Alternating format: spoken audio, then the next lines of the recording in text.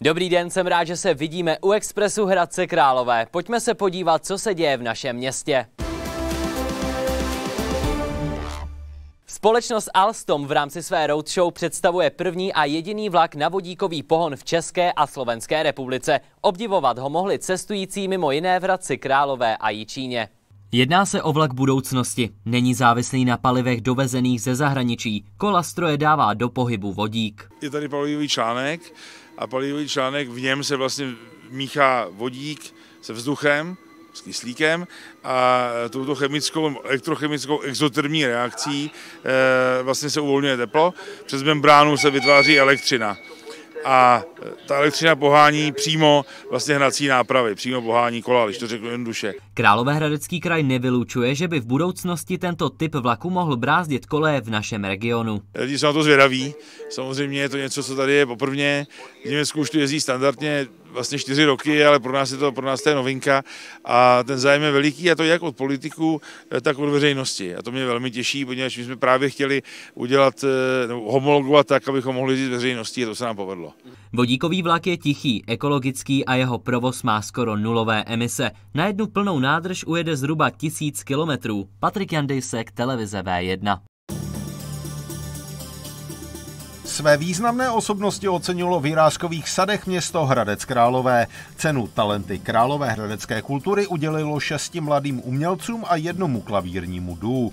V rámci výročních cen města radnice cenou doktora Františka Ulricha vyzdvihla varhaníka a pedagoga Václava Uhlíře. Václav Souček dostal in memoriam cenu Primus Inter pares. Sportovní cenu získala olympijská vítězka Kateřina Syniaková. Hradecká můza pak putuje do Muzea východních Čech v Hradci Králové za expozici Cesty města. Město Hradec Králové by se z menšinového vlastníka kongresového centra Aldis mělo stát jeho jediným majitelem. Ve hře je totiž nákup 51,5% akcí, které může získat od odborářů. Centrum za uplynulé tři roky poznamenané covidem vykázalo ztrátu 16 milionů. Plán na stabilizaci prostřednictvím dobrovolných vkladů vlastníků ale padl. Místo toho přišla od odborů městu nabídka na odkup akcí. Za ty by město mělo dát zhruba 26 milionů. Redaktorka Gabriela Mlinka si povídala s mluvčím Univerzity Hradec Králové Jakubem Novákem. Řeč přišla samozřejmě na to, jaké obory mezi uchazeči o studium na vysoké škole nejvíce frčí a také v jakých odvětvích mají uplatnění na trhu práce. Zdravíme do Královéhradeckého studia. Já mám vedle sebe mluvčího Univerzity Hradec Králové Jakuba Nováka. Zdravím tě. Dobré odpoledne. Který vlastně studijní obor eh, je takový nejžádanější na Univerzitě Hradec Králové? My jsme vyrostli z pedagogické fakulty, takže obecně tou nejvyhledávanější součástí je pedagogická fakulta a takové ty sociálně pedagogické disciplíny jsou ty vůbec nejvyhledávanější a kdybych měl být velice konkrétní, tak je to speciální pedagogika, o kterou je možná úplně největší zájem na té pedagogické fakultě. Zhruba za rok, kolik se k vám přihlásí studentů a kolik jich vůbec můžete vzít? Mm-hmm. Tak letos, a už to můžeme vyhodnotit a můžeme to říct, byť nás v červenci čekají ještě druhá kola, je to zhruba 6700 studentů, nicméně mnoho jich budeme muset odmítnout, protože přijmout ať z kapacitních důvodů, či z důvodů institucionálních, jich můžeme zhruba 1500. Jedna věc je dostat se na svůj vysněný studijní obor, ale druhá věc je najít pak nějaké uplatnění na trhu práce. Jak to je s těmi vašimi obory, které nabízíte na univerzitě, který má takový eh, největší potenciál? Nutno říct, že největší potenciál uplatnění, téměř 100% uplatnění, mají vždy ty obory, kam se hlásí standardně nejméně lidí. A zmíním ty, které nás v regionu Královéhradecka, ale i Pardubicka trápí. A to jsou například učitelství takových těch fyzik, matematik nebo informatik.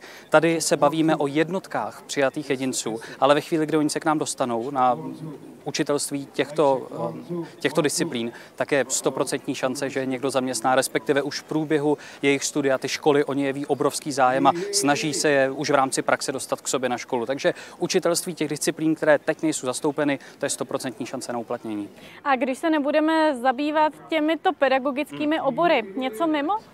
Určitě těch mm, kategorií je mnoho. Zůstanu na Přírodovědecké fakultě, kde máme velmi zajímavý program toxikologie a analýza škodlivin. Toxikologů je taky málo, ale je vidět vzhledem k tomu všemu, co se děje na světě, že toxikologů bude ještě potřeba mnoho a mnoho. To znamená, i obor toxikologie například v tom výčtu mnoha znamená de facto 100% šanci na uplatnění se v oboru. A to je důležité říct, že v oboru. Spousta lidí, kteří mají za sebou studium, se ale vlastně potýkají hmm. při tom, když schánějí práci, že jsou eh, bez praxe. Nabízíte jim vy eh, na univerzitě nějakou možnost praxe, stáží a podobně? Rozhodně. Všechny součásti se snaží, aby už v průběhu studia ti studenti měli vztah k té praxi, eh, ať už ve školách, v rámci těch vzdělávacích profesí, nebo ve firmách. Typicky fakulta informatiky a managementu, velmi biznisová fakulta, se snaží každý rok dostávat na tu fakultu zaměstnavatele firmy, které už nabízí tu práci těm svým budoucím zaměstnancům. Takže na Univerzitě Hradec Králové je běžné, že už během studia získáváš tu praxi a dostaneš se do škol, do firem. Eh, já konkrétně, byť jako politolog, jsem už eh, během svého studia vysílal eh, v rádiu, takže snažíme se ty lidi posílat do praxe už během toho jejich studia. Já ti moc děkuji za tvůj čas. Věřím, že budete mít spoustu šťastných studentů, kteří i najdou tu správnou práci. A teď už předávám slovo zpátky do studia. Z dnešního Expressu je to vše, přeji klidný zbytek dne a za týden opět na viděnou.